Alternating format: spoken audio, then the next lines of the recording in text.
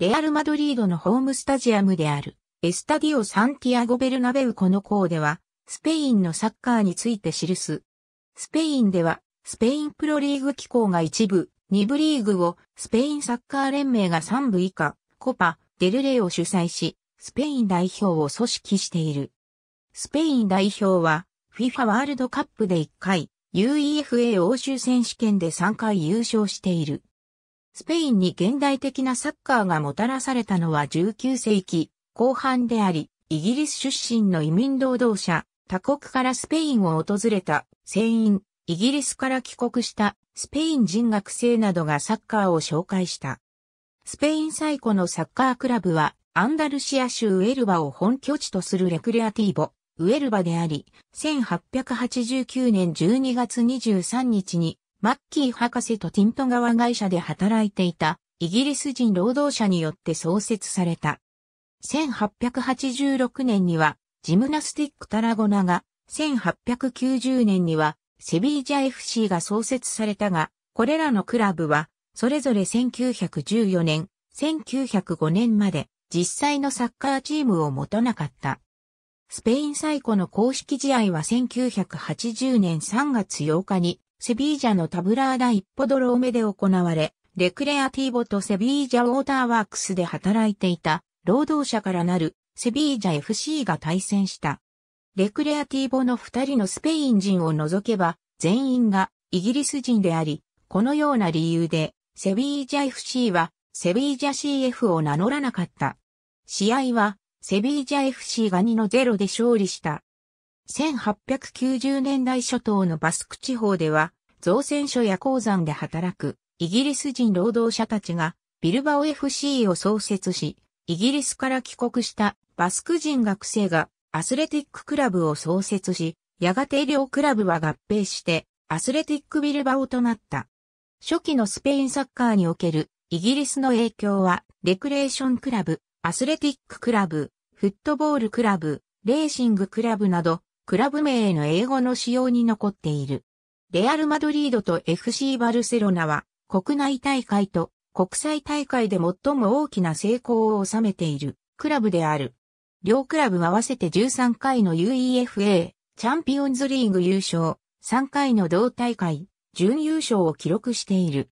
9回優勝しているレアル・マドリードは、同大会の最多優勝クラブであり、UEFA カップでも2度優勝している。バルセロナは1年間に主要大会6冠を達成した世界初のクラブである。1902年、首都マドリードに本拠地を置く数クラブが合併して、マドリード FC が創設された。同年、後にマドリード FC の会長になるカルロス・パドロスは、アルフォンソ13世の体感を祝うサッカー大会の開催を提案し、コパデル・アジュンタミエントでマドリードが開催された。カタルーニャ地域からは FC バルセロナとクラブエスパニョールでフットボールが参加し、バスク地域からはクラブビスカやマドリードからはニューフットボールでマドリードの計4クラブが出場した。この大会は FC バルセロナとレアル・マドリードが初めて顔を合わせた大会であり、FC バルセロナが3の1で勝利した。クラブビスカヤは、バスク地方の2クラブの選手からなる合同クラブであり、決勝で FC バルセロナを破って優勝した。アルフォンソ13世は多くのクラブのパトロンとなり、クラブ名にレアルという窃盗時を使用する許可を与えた。マドリード FC はレアルマドリードとなり、その他にもレアルサラゴサ、レアルバリャドリード、レアルオビエド、レアルベティス、レアルソシエダなどがクラブ名にレアルを冠している。スペイン代表が創設される前には各地域の代表チームが存在し、1915年以降には特にカタルーニャ選抜、バスク選抜、ガリシア選抜などが互いに競い始めた。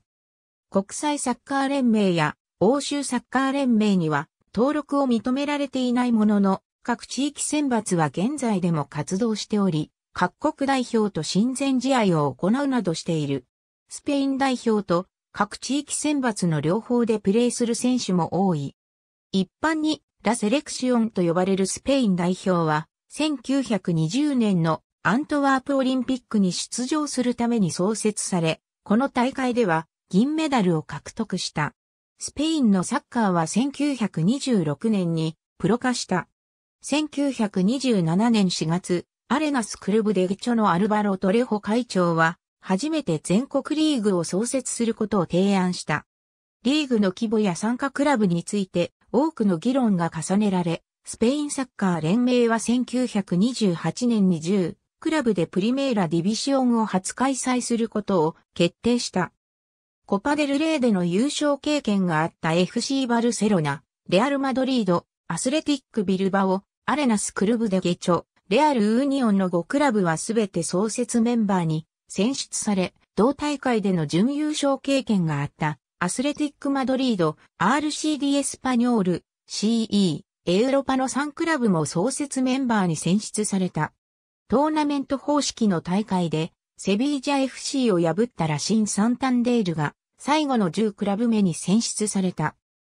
レアル・マドリード、FC バルセロナ、アスレティック・ビルバオの3クラブはプリメーラ・ディビシオンから降格したことがなく、さらに、セビージャ FC、レアル・ソシエダ、スポルティング・ヒホン、バレンシア CF、RCD エスパニョール、アトレティコ・マドリードの6、クラブはセグンダ・ディビシオンから降格したことがない。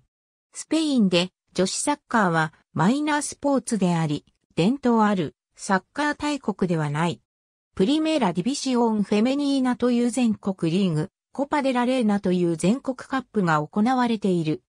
スペイン女子代表は UEFA 欧州女子選手権に1987年大会予選から参加し、6回目の挑戦となった1997年大会で初めて本大会に出場した。1997年大会ではベスト4となったが、以後は3大会連続で予選敗退に終わっている。ありがとうございます。